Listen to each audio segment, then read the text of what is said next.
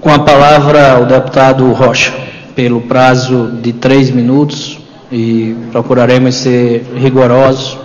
Acredito que nem todos os deputados vão fazer uso da palavra para que possamos encerrar e votar o requerimento na sequência.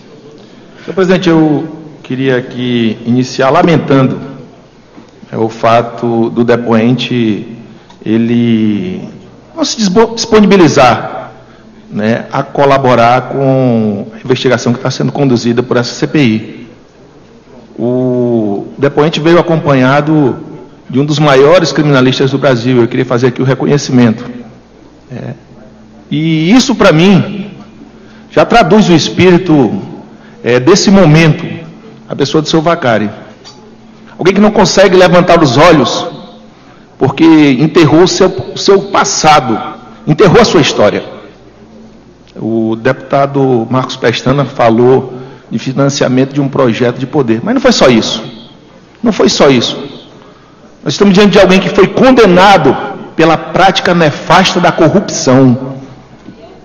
E é interessante, seu Bacari, é, alguém que foi sindicalista, alguém que deveria lutar, ou que se propôs, num primeiro momento, a lutar pelos trabalhadores, né, hoje não ter mais a coragem de sequer responder os questionamentos feitos por essa CPI, que interessam essas pessoas que aqui vieram. O senhor não tem o meu respeito. O senhor envergonha o nosso país. O seu partido envergonha o nosso país. Ontem, a presidente Dilma Rousseff veio a essa casa ler a sua mensagem. E na mensagem da presidente Dilma Rousseff me ressaltaram duas coisas.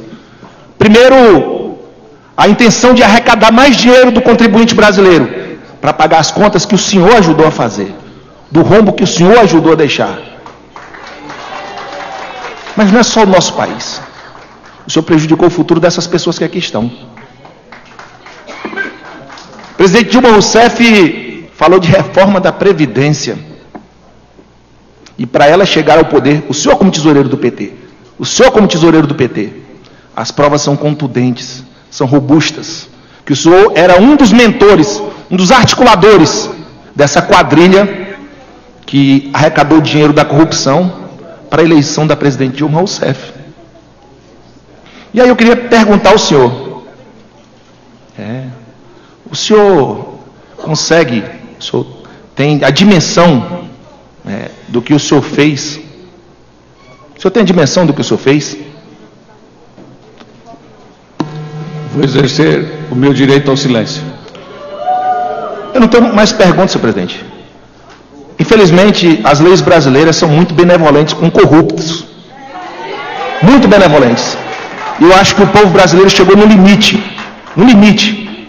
Não dá mais para sustentar é, um, uma organização criminosa que meteu a mão, que surrupiou, que se envolveu em todo tipo de corrupção, em todos os segmentos do poder público.